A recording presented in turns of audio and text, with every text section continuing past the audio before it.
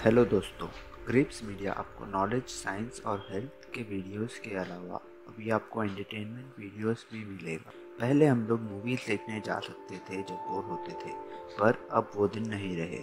इस कारण बहुत लोग ऑनलाइन प्लेटफॉर्म्स को प्रेफर कर रहे हैं। सारे नए मूवीज़ भी आपको ओ टी प्लेटफॉर्म्स में दो ही महीने के बाद रिलीज़ हो जा रहे हैं, और कुछ तो डायरेक्ट भी रिलीज़ हो जा रहे हैं। इसी दौरान लोगों को वेब सीरीज़ पर भी इंटरेस्ट मिल रहा है। बहुत सारे नए स्टोरीज़ के साथ और हर एपिसोड में एक ट्विस्ट के साथ सभी व्यूअर्स को अगले एपिसोड के लिए वेट करवा रहा है। हम लोग ये सब अपने ही घर के कमरे में अपनों के साथ फ़ोन में या टीवी के द्वारा देख पाने के कारण भी बहुत सारे लोग इनको प्रेफर कर रहे हैं। ऐसे बहुत सारे शोज़ हो सकते हैं जो आप देखना चाहते हैं या आधा देख के टाइम नहीं मिलने के कारण छोड़ दिए होंगे। या शोज़ देख लिए पर फिर से पूरा देखने का टाइम नहीं मिल रहा होगा। ऐसे सभी लोगों के लिए ग्रेप्स मीडिया आपके लिए इंग्लिश वेब सीरीज़ का समरी देने वाला है हिंदी में। So please subscribe to grapes media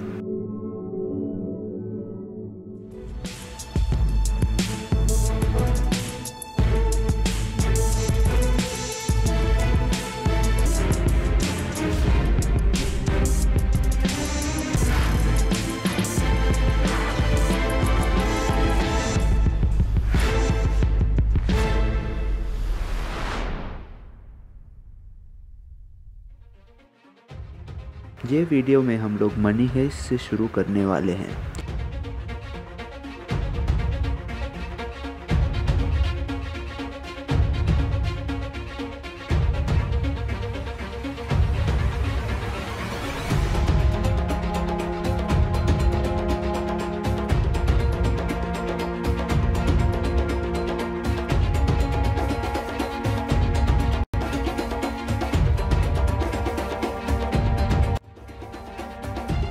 ये सीरीज़ पूरा प्रोफेसर के द्वारा प्लान किया गया रॉबरी के बारे में है।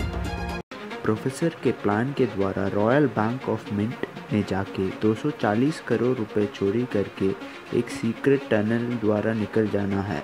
इसके लिए प्रोफेसर उसके टीम को लेकर छः महीनों से एक बंगलों में ट्रेनिंग देता है। ये रॉबरी के लिए प्रोफेसर तीन रूल लगाता है। पहला रूल किसी को मारना नहीं है। दूसरा रूल है कि कोई भी मेंबर अपना असली नाम का उपयोग नहीं करेगा और जो भी सिटी का नाम दिया गया, वही यूज़ करेंगे। तीसरा रूल ये है कि कोई भी मेंबर आपसी में बंधन नहीं रख सकते और अपने व्यक्तिगत विशेष का बात नहीं कर सकते आपसी में। प्रोफेसर ये टीम के साथ बैंक में नहीं जाएगा और बाहर ही रह के ये रॉबरी का हेड पुलिस रकेल के साथ दोस्ती बनाएगा और पुलिस से एक कदम आगे रहने का कोशिश करेगा। पुलिस के साथ होने वाले सभी नेगोशिएशंस प्रोफेसर ही बाहर से एक वॉइस मॉड्यूलेशन के साथ करेगा। हर एक टीम मेंबर को एक एक टास्क रहता है। पहला कैरेक्टर बर्लिन है। ये पूरा हाइस्ट का कमांडर है और बैंक के अंदर जाने के बाद जो भी बर्लिन बोलता है, वही बाकी सभी लोगों को भी करना पड़ेगा। दूसरा कैरेक्टर नैरोबी है।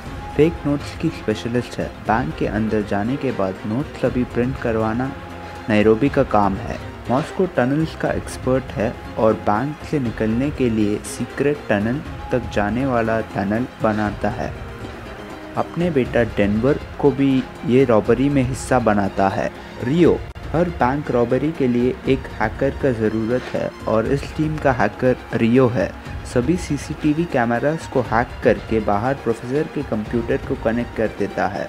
ऑस्लो और हेलसिंकी ये दोनों टीम के बॉडीगार्ड्स हैं। टोक्यो और डेनवर बैंक में बंद रखे गए हॉस्टेजेस को देखते हैं ताकि कोई भागने का कोशिश नहीं करे। जब प्लान शुरू होता है, हम लोग का पूरा टीम बैंक के अंदर कस्टमर्स जैसे ही जाके बैंक को हाईजैक कर लेते हैं। बैंक के सभी डोर्स को बॉम्ब लगाते हैं, इससे बाहर के पुलिस अंदर नहीं आ पाएँगे। सबका फ़ोन लेके एक रूम में रख देते हैं। इससे कोई भी बाहर के लोगों से बात नहीं कर पाएगा। सभी हॉस्टेजेस को भी इनकी तरह ही रेड ड्रेस और मास्क पहनने बोलते हैं। सबको फेक गन्स भी दिया जाता है, जिससे पुलिस को समझ में नहीं आएगा कि कौन चोर है और कौन हॉस्टेज बैंक के हॉस्टेजेस में तीन कैरेक्टर इम्पोर्टेंट रोल प्ले करते हैं। पहला कैरेक्टर है बैंक मैनेजर रोमान जो सभी को बचाने की कोशिश करते रहता है। दूसरा कैरेक्टर है मोनिका, जो कि बैंक मैनेजर की सेक्रेटरी है। तीसरा कैरेक्टर एलिसन पार्कर है, जो बैंक के म्यूज़ियम में स्कूल ट्रिप के लिए आएगी। एलिसन यूके फॉरेन एम्बेसडर की बेटी है। इस कारण पूरा इंटरनेशनल मीडिया में भी ये रॉबरी के बारे में टेलीकास्ट होते रहेगा। बैंक मैनेजर अपने सेक्रेटरी मोनिका को बोलता है कि उसके कैबिन में एक सीक्रेट फ़ोन है, जिससे वो बाहर के लोगों को बोल पाएगी कि बैंक में क्या हो रहा है। पर उससे पहले ही कैप्टन बर्लिन मोनिका को पकड़ लेता है और डेनवर को मोनिका को मार देने बोलता है। अब डेनवर प्रोफेसर के रूल्स के वजह से मार नहीं पाता, पर अपने ही कैप्टन को मना भी नहीं कर पाएगा। पर डेनवर के इंसानियत की वजह से वो उसको मार नहीं पाता और मोनिका के पैर पे शूट कर देता है। इससे सबको लगेगा कि डेनवर ने मोनिका को मार दिया, पर डेनवर उसको एक सीक्रेट सेफ़ में छुपा लेता है। पर मॉस्को को लगता है कि उसका बेटा ने सही में मार दिया। इस कारण उसका हार्ट रेट बढ़ जाता है। डेनवर मॉस्को को खुली हवा देने के लिए बैंक के छत पे लेके जाएगा उसको और कुछ हॉस्टेजेस को। वहाँ जाके ही उसको सच बोलने वाला रहता है। इससे पहले बैंक मैनेजर रोमान डेनवर से गन ले लेता है और सभी को छोड़ देने बोलता है। पर दूर से देखने वाली पुलिस को एक जैसे दिखने के वजह से कौन हॉस्टेज है और कौन रॉबर समझ में नहीं आएगा।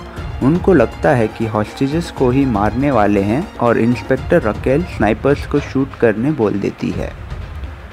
शूट करने के बाद पता चलता है कि पुलिस ने बैंक मैनेजर रोमान को ही शूट कर दिया। अपने गलत फैसले से गुस्सा होकर रकेल पुलिस कैंप से निकल जाती है। गोली लगने से बैंक मैनेजर का हेल्थ अभी सीरियस होगा। क्या डेनवर मोनिका को बचा पाएगा? इंस्पेक्टर क्या वापस आएगी और ये रॉबरी रोक पाएगी? प्रोफेसर का नेक्स्ट मूव क्या होगा अभी? ये सब जानने के लिए नेक्स्ट पार्ट देखिए। जैसे ही नेक्स्ट पार्ट आने से आपको नोटिफिकेशन आने के लिए सब्सक्राइब कीजिए ग्रेप्स मीडिया का चैनल को। ये वीडियो अच्छा लगा तो लाइक कीजिए और कमेंट्स में अपने विचार बोलिए। अपने दोस्तों को भी दिखाने के लिए शेयर कीजिए ये वीडियो थैंक यू